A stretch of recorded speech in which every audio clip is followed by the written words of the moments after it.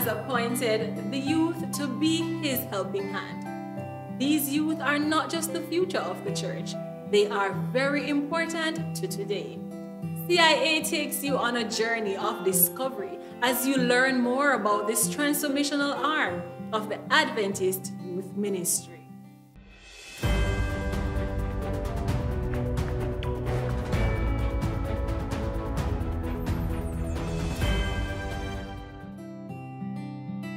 It was John McKim, youth leader of the Southeastern California Conference, who first used the term Pathfinder. The origins of Pathfinder lies in the creation of the Missionary Volunteer Societies in 1907. They were the concept of Director of Sabbath School for the General Conference, Flora Plummer, and Milton Kern, the first youth director for the World Church. Junior Missionary Volunteer or JMV societies were later added in 1909. The idea of local clubs doing outdoor activities was advocated in 1922 by Arthur W. Spalding, Director of Family Ministries at the General Conference. The first camp out by junior missionary volunteers was at Town Line, Lake Michigan, in 1926. By 1931, the Pathfinder emblem, the flag, and a song were all created.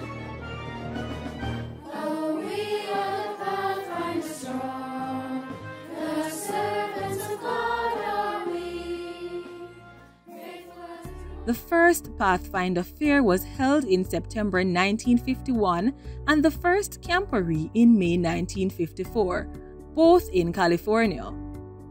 Pathfinding has grown significantly since 1985. It has adapted to many changing circumstances, both globally and locally, and it's true for the Central Jamaica Conference of Seventh day Adventists. For example, the Eagles Pathfinder Club in this new normal has adapted to meeting online every week. Their club leaders, Janisha Bryan Thomas and Fabian Thomas, spares no effort in spending time training the youth about personal and spiritual development. The one dot tells us that um, that is low temperature. So for some of the garments that we're going to be using or ironing, we cannot have the iron being too hot. If the iron is too hot, what will happen? Burn it, burn the clothes. Yes, man big time burning and it can't come back. This has impacted their social life significantly, and many are proud to be Pathfinders. I am a Pathfinder because of the fun activities they do, such as puppetry, heritage of the church, and laundry honor, soap crafting as well. You should become a Pathfinder too. As a Pathfinder, you have a lot of responsibilities. Along with the responsibility that you have to have to manage your time and debit your time into doing all of these activities, you also have to develop determination to complete some of these tasks. And determination is basically perseverance. And perseverance is an important tool that a Pathfinder must have in their tool belt. You'll no doubt need this to complete certain honors or to complete drills in the hot sun. But no matter the circumstance, pairing perseverance with discipline will make a world of difference in your life. Hi everyone, the name is Jadine Smith and I'm a proud member of the Daniel Pathfinder Club. I have been a part of this club since I was a child, and I believe that it has contributed to my development holistically, not just spiritually. Being a part of this club, I have learned so much, and it has helped me in my own personal mission in serving Christ and also my fellow man.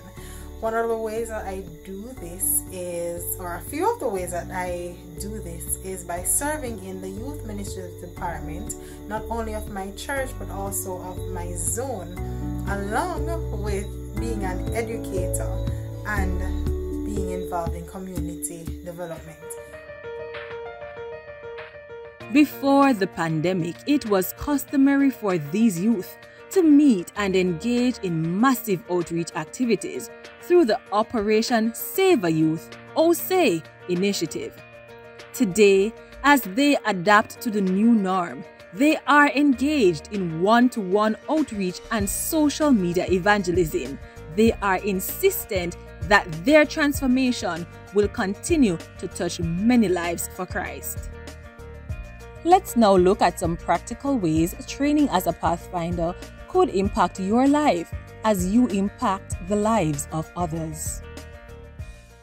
In the Master Guide program, I have benefited a lot. I have learned uh, a lot about discipline and self confidence, survival skills, and life skills. But most importantly for me was what I learned in terms of life saving skills. And that has proven beneficial to me on more than one occasions.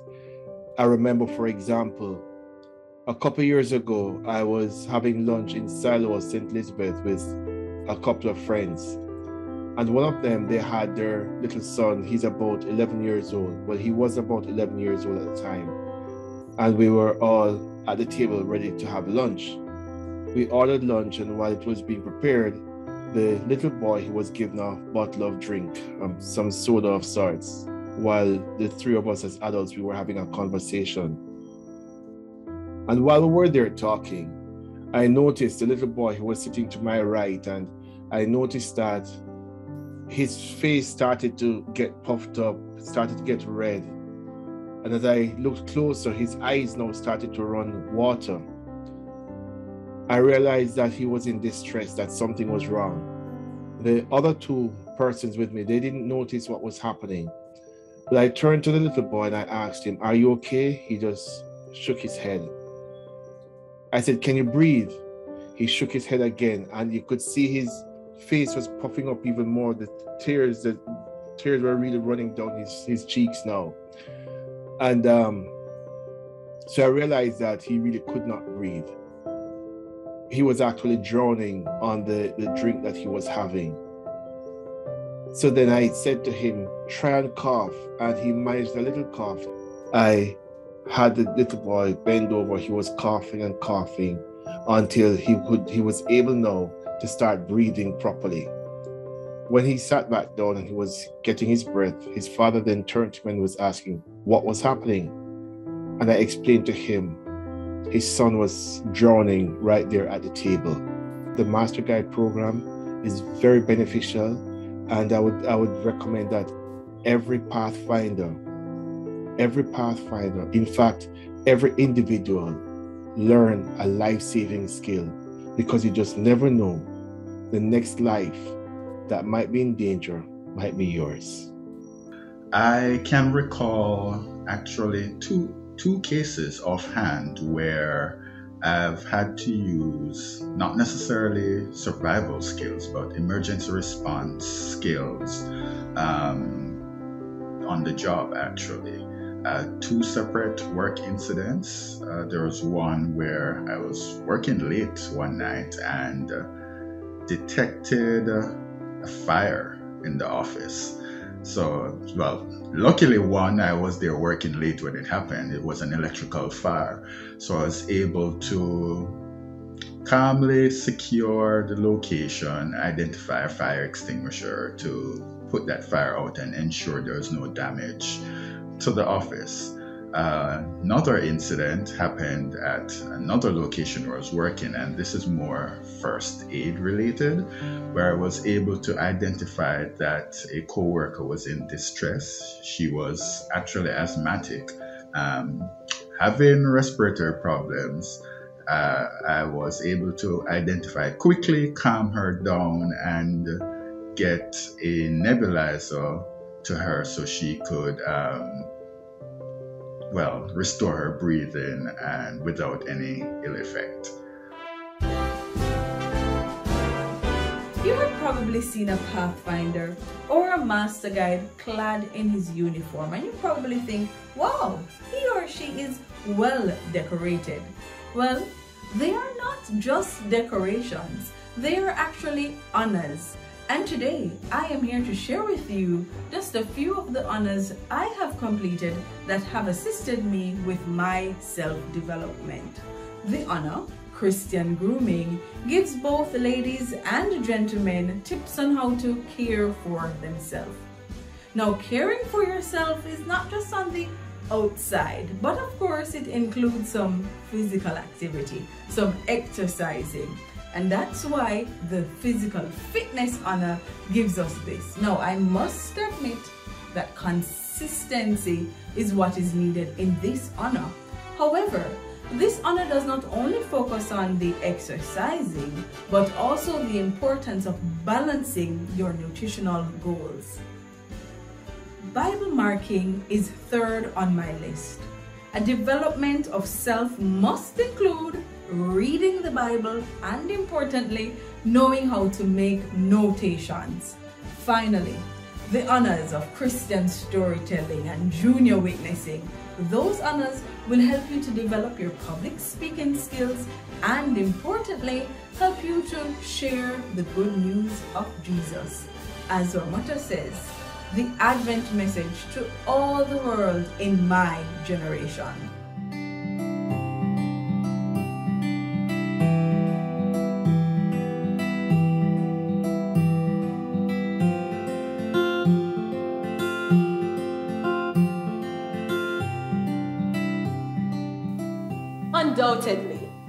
Such an army of youth, rightly trained, might furnished, how soon will the gospel of a crucified, risen, and soon coming Savior be carried to the whole world?